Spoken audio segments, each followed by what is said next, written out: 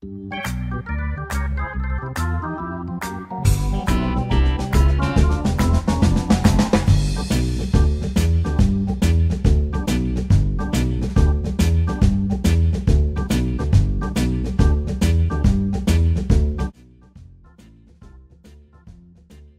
I had seen some crew try crew.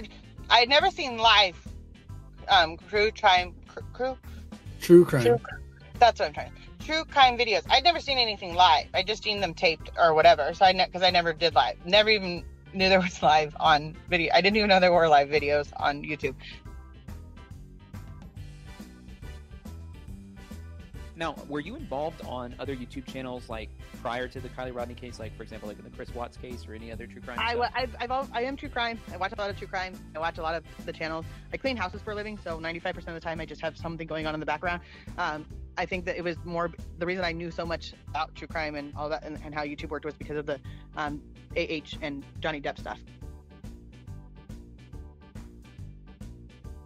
Okay, I've I've been I watch true crime, and when I say I watch true crime, I clean houses.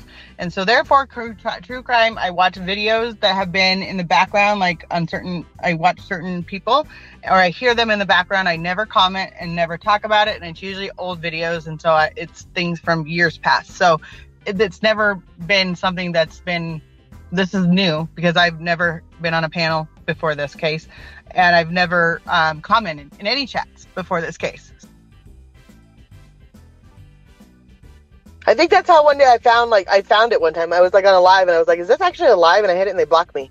I'm like, "Oh, well, that was, it was like six months to a year before I think I even knew it was like with the Summerwell case or something." And I was so confused I didn't get it at all.